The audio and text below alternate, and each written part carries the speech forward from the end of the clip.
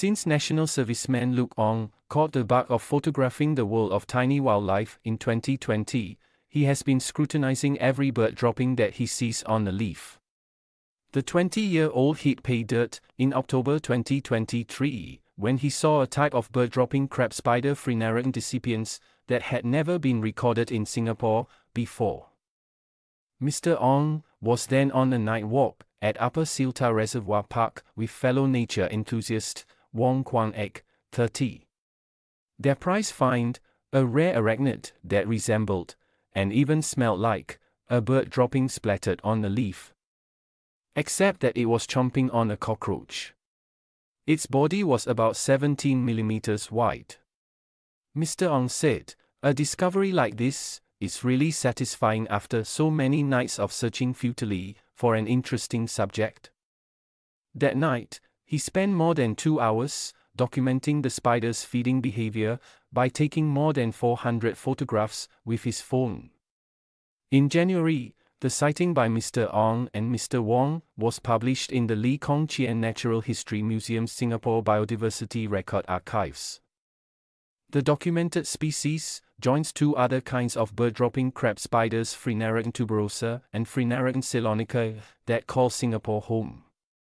The Phrynarachne decipiens is not new to Southeast Asia, which has the world's highest concentration of bird-dropping crab spiders.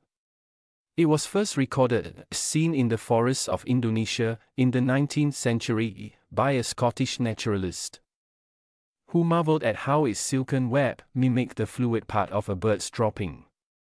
The species is almost completely white, whereas others of its kind come in varying shades of white and dark colors. For years, the spider and its relatives' unusual disguise has intrigued and puzzled scientists. The fecal facade and odor of these spiders are part of a ploy that acts as both a repellent to predators and a charm offensive to lure prey like flies, which rely on bird droppings as a food source, they found. In 2021, for instance, scientists provided the first experimental proof that the seemingly harmless appearance of the spiders lured more prey than those that did not have a similar masquerade. Like other members of the crab spider family, bird-dropping spiders are known to ambush unsuspecting prey that land on their leaves, often remaining in one place for hours or even their whole life. Spider experts said it is unsurprising that P. decipiens has been found in Singapore, which has more than 900 species of spiders. Associate Professor Li Daiqin, a biologist at the National University of Singapore, who co-wrote the 2021 study, said it is likely that the spider has always been hiding in Singapore's forests. They are not easy for laymen to spot because of their camouflage and inactivity, said Dr. Li, who has never seen a bird-dropping crab spider in Singapore despite studying spiders for nearly 40 years. Retired ambassador and spider expert Joseph Koh agreed, adding that the distribution pattern of P. decipiens mirrored that of many other spiders in Singapore, which can also be found in parts of Indonesia and Malaysia. To conclude that the spider is a species that can be found in Singapore, more specimens have to be cited, said Mr. Koh, adding that there is still a possibility the spider is a stray that was accidentally introduced here via Indonesian or Malaysian plants. He said, the male of this species has never been collected anywhere in the world. It will be a scientific jackpot if we can find a pair together and get the male properly described in a scientific journal.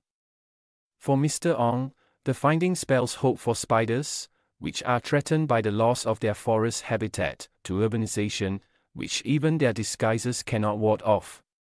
He said, the discovery that such species exist locally shows that species richness isn't completely gone and still persists in pockets of our forests, albeit in a much more restricted capacity compared to our neighbors.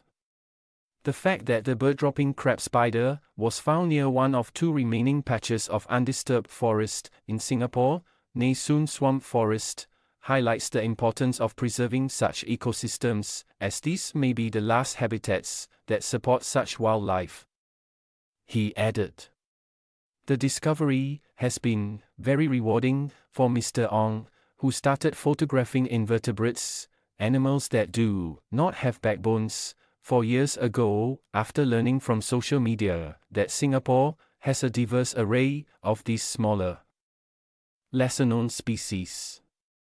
He said, It's exciting because there's always a chance that you can find something completely new to science. The sheer scale of undiscovered findings is vast compared to other fields of zoology. Some of my fellow naturalists have even described it as Pokemon for adults.